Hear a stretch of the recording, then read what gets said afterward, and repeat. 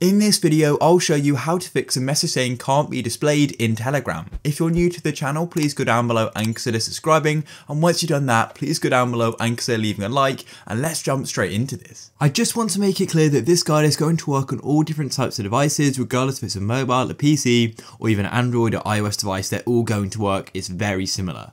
So the first thing you need to do is actually close off of Telegram as unfortunately we can't go and access the setting in the Telegram app.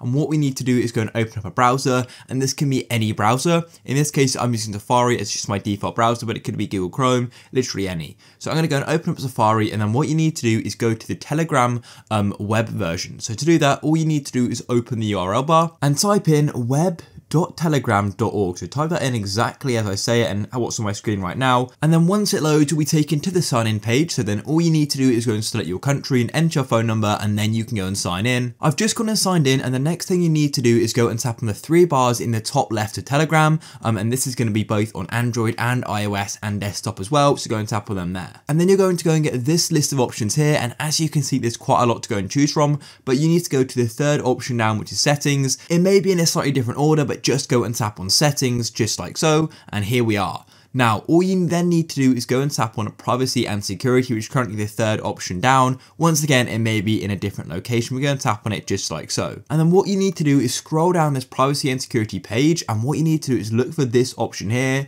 sensitive content. Um, and at the minute, I haven't gone and disabled filtering. So when disable filtering isn't enabled, what's going to happen is, is that things are going to be um, censored and groups can't be joined and things like that. So if you don't want that to be like a thing, then go and tap on disable filtering. And now nothing's going to be filtered filtered and you can go and access everything on Telegram. So once you've gone and made that change, what I recommend doing is going back to the Telegram app and restarting it. So swipe up on your screen and just go and close Telegram and then go and reopen it as in everything's going to be refreshed and your setting will be changed. And then you can just go and use the Telegram app just like usual, except from nothing will be filtered. If you found this guide useful, please go down below and consider leaving a like. Peace.